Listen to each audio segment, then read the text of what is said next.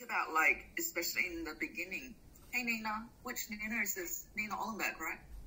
No, it's Zala. Nina Zala. Yes. Yeah. Sorry, were you here? I thought you joined us last yesterday. I yeah, I want to listen again. Okay, cool, sure. Okay. Um, so um, with um, now I forgot my brain's like literally so bad. So um, be, we need to be more specific. We need to talk about um, think about what sort of revenue generating activities can you engage in, especially during the first initial phase. Because most of you, when you're working on your collection, when you're working for your own brand, apart from marketing activities, apart from the initial stage, developing collections, that's all activities that require you to put in a lot of investment, like capital investment, like money, overhead, studio setup, machinery, also your time, your labor. But in addition to obviously, it's all an investment stage. Are there any activities that you could do on the side to generate income? If you mentioned that um, doing a sideline, like a part time job, maybe like say a job in retail, that would be obviously ben- beneficial, or a job in um, perhaps for a design firm like assistant um, or design job, or um, if you're really good at sewing, maybe you could do say your studio can do um, production works for other I don't know other brands or whatsoever, just in small volumes. So whatever activities, if you're really good with illustrations and drawings, like artworks, creating prints, maybe you're you might want to develop a um, derivative line of products. So it's like maybe it's little crafts or accessories, earrings, whatsoever accessories that or bags with your own print on it. So small things that you can actually activities you can do that may you know bring in some income in that early stage. And in terms of profit, um, so I'll share my screen now. Can you all see my screen? Yep. Okay. So if you go into modules,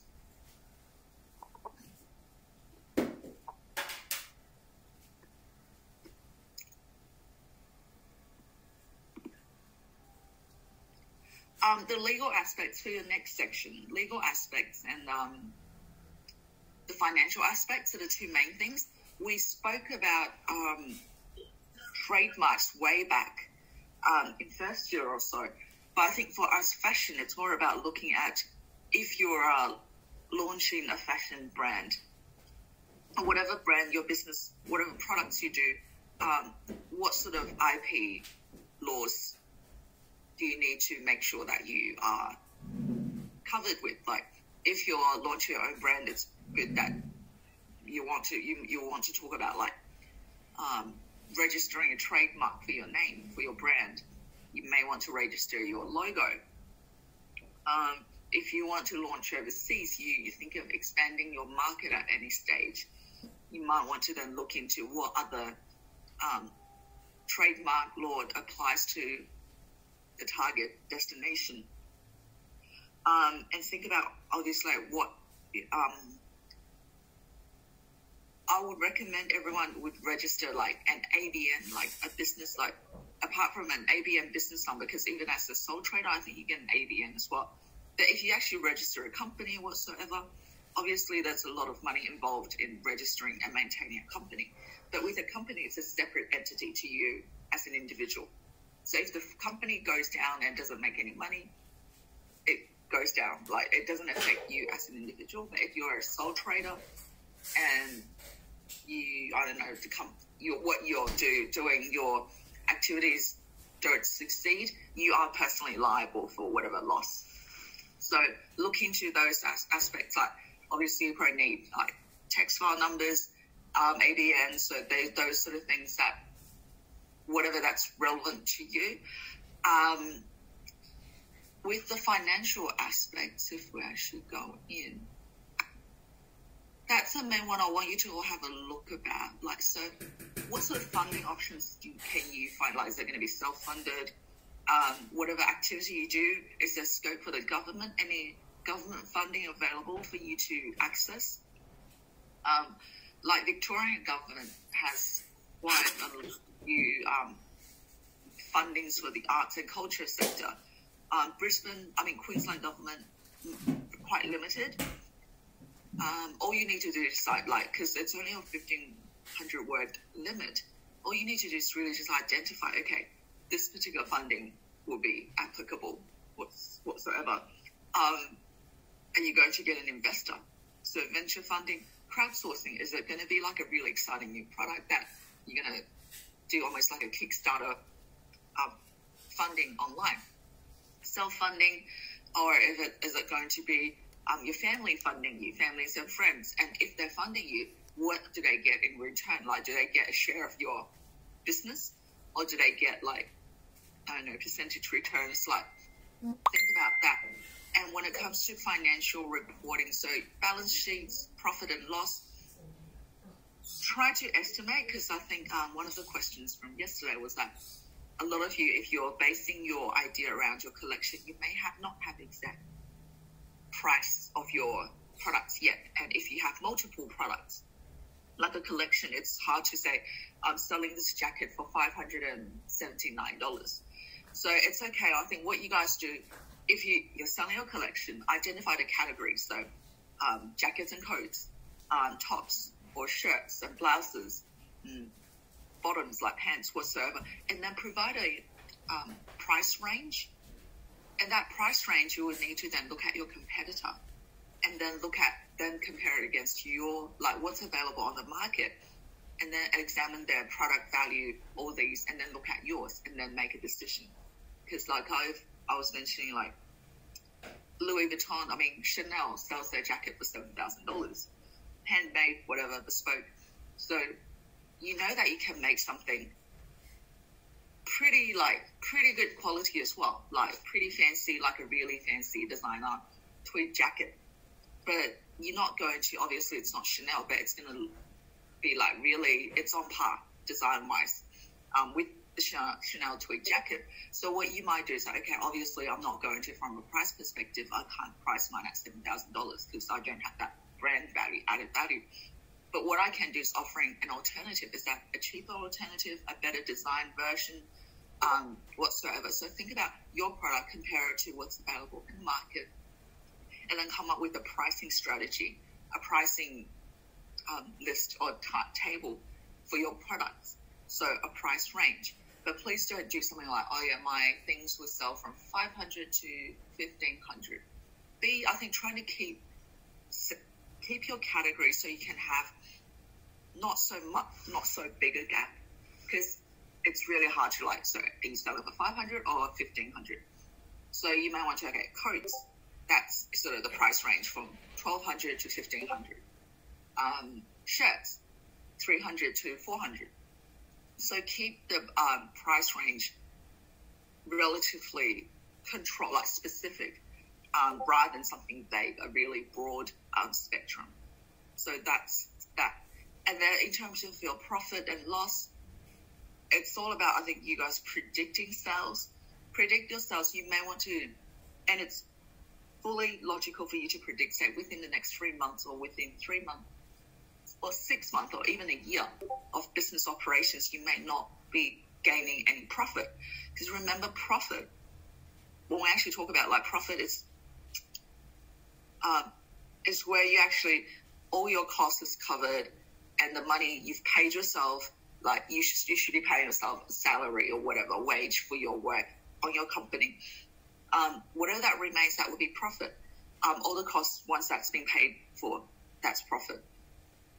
And a lot of times that you will find that for startup businesses, the first year it's all about because of the large amount of investments put in to launch a business, like overheads, buy machineries, mm, marketing costs, all these sort of things, you will find a lot of companies will be trying to break even within the first year. And it, they will be doing pretty well if they can manage to break even in that first year. So break even is where your cost, your capital investment, um, your sales or whatever, um, you recover all your cost investment, um, uh, debt, whatever, like all, uh, not debt, but like all your initial costs whatsoever, you, that's all, you recover that. What at that point, um, is the break even point, and anything in additional, any additional sales on top of break even point is your profit. So um, that's something we need to just, I think, please do consider when you actually fill out your um, um, profit loss or um, even projection like for, of sales data, sales sheets, because I wouldn't expect anyone to be making large volumes of sale, say, first week in, first month in. So that first three months at least should be, you should be almost like negative, like in debt, because you all you are on your balance sheet. You will be buying new equipments, buy new things, buy new software. So that's the sort of thing to take into. Um, operating and startup capital and operating. So think of startup as in like the capital is like machinery. So well, the overheads, um, buying the machines, all these sort of things. But operating is like how much like like your electricity, your bills, like electricity of operating those machines. That will be your operational cost. And anything to do with marketing, that's your operational cost as well. So if you actually scroll, so this is um, under financial aspects section in um, within modules. So what you do, you just scroll down. There's um, some templates, Excel templates. So if you can just go in and try to fill those in, have a go at filling those in. Myself personally, I hate anything to do with numbers and tables. So I know, I know like I can normally like it takes me ages to try to fill them out, but it's actually really straightforward. Make does make sense. Like um, think about, I mean, go do some research. How much um bank fees would you have to pay? Um, like you know, how much does it cost to start up a um to open a business account? Um, and how much do they charge monthly fees and all these um, insurance um, of even if you're sole trading or um, working from home obviously from an insurance perspective you what you do is you calculate a rough percentage estimate a percentage say your house is 100% of 100% of your residence your house what percentage is used for your business activities what percentage is used as your studio is it just a garage? Is it your studio, um, bedroom? Is it 20%, 30%? Are you using half of your house, half of your family home to actually work on your business? Um, it wouldn't be 100% if you're living there, because at least if you're living there and if you're full on business operating, that will still be only half of it. So 50% of your house, residential house. So that's when you then just calculate um, like how much um, do you guys pay for your insurance, um, buildings insurance, whatever, and then work out the percentage in that in that sense. Um, you may want to make sure that you are also covered from um, I think third parties. Like so, you're you actually doing the activity. So with building insurance, it's like if your machine explodes and burns down the house, that will be covered um, under buildings insurance, but then you want to like get proper business like sole traders like insurance where you, if you injure yourself, you're covered in that sense.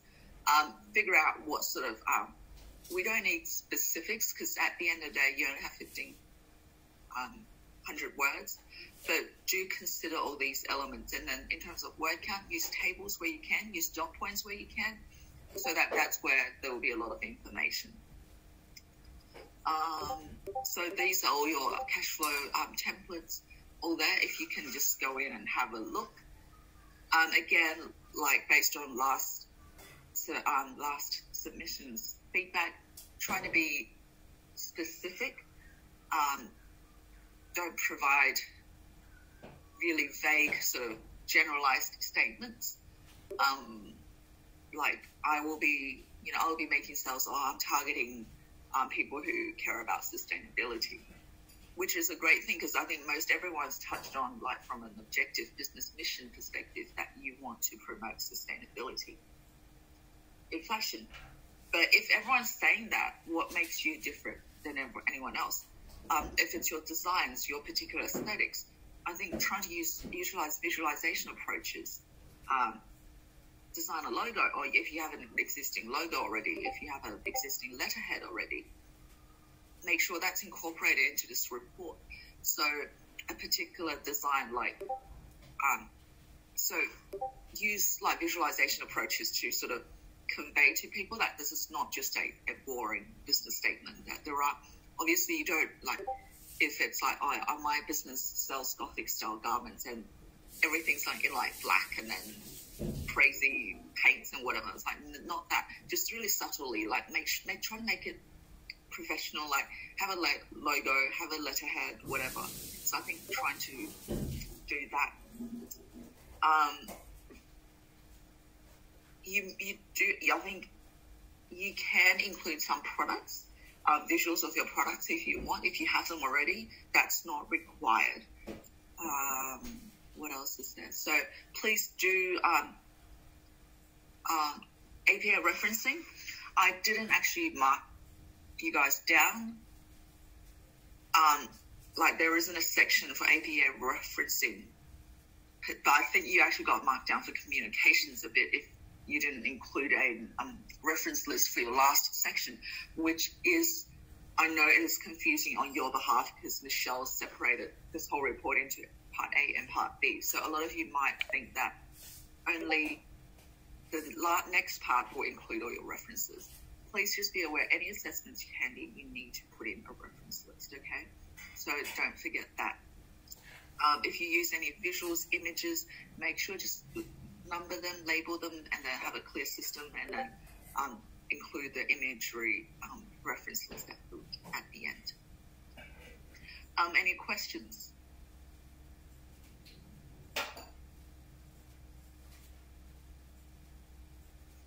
No. Hello.